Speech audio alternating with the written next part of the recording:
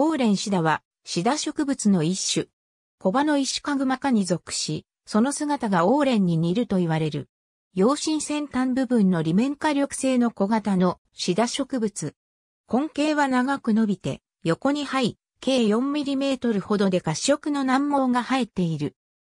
傭兵は長さ5から 30cm ほどで、上の方は緑から藁色で、基部に向かうにつれて黒褐色で光沢が出る。ただし全体に赤褐色を帯びることも多い。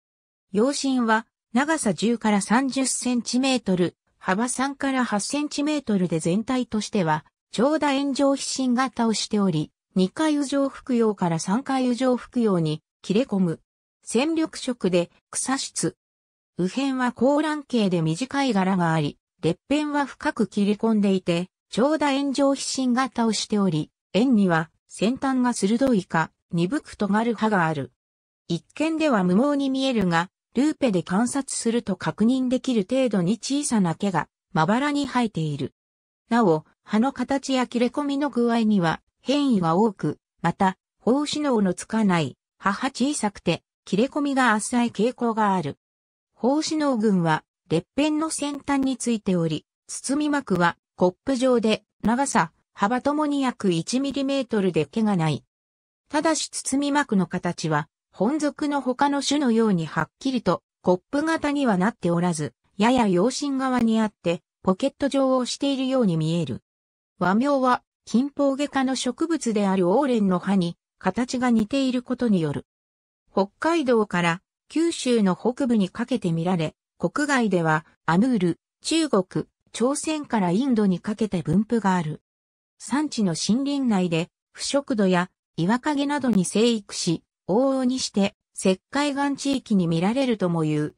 涼しい山地で沢沿いや斜面を好む。日陰にも幼地にも出ることがあり、しばしば群生する。寒冷地に多く、暖地に稀な傾向がある。小葉の石かぐま族電車ティド社のものは日本では3種が知られ、そのうちで小葉の石かぐまディースキャブラは本種よりかなり大きなもので、特に葉身の幅が15センチメートル以上になる。イヌシダディファースタは、本種と同程度かやや小柄なシダで、本種と異なり葉全体に長い毛が多い。分類学的には、本属の胞子脳群が葉の円から突き出し、包み膜がコップ状であることを特徴とする。禁煙の属であるふもとシダ属ミクロレピスでは、胞子脳群は葉裏にあって包み膜は円が葉裏に融合してポケット状となっている。本種ではこれらの特徴が、この二族の中間的なものと見ることができることから、本種を独立させて、オーレンシダ族キャプテディプタースを認める説もあったが、現在は認められていない。なお、田川では、ふもとシダ族に入れても大した不都合はないという記述がある。また、ニュージーランドのレプトレピア族と関連づける考えもある。なお、外見的にやや似たものとして、枝内本宮シダリンゼンやチエニーが挙げられるが、この種では、胞子の群が葉の円に連続的に作られる。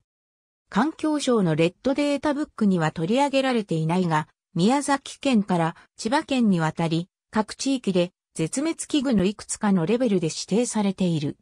生育環境に空中湿度が高い必要があり、環境悪化に弱いと考えられており、また園芸的な採取も問題視されている。特に九州では、その分布が稀であることから重視されている。以下、種として、岩月変著 P101 田川、P49 田川、P49 田川、P49 岩月変著 P101 岩月変著 P101 三田、P105 田川、P49 京都府レッドデータブック岩月変著 P101 岩月変著。P101 田川、P49 三田、P105 三田、P105 日本のレッドデータ検索システム2018年11月14日、閲覧京都府、レッドデータブック2015万2018、11、14、閲覧大分県、レッドデータブック2018年11月14日、閲覧。ありがとうございます。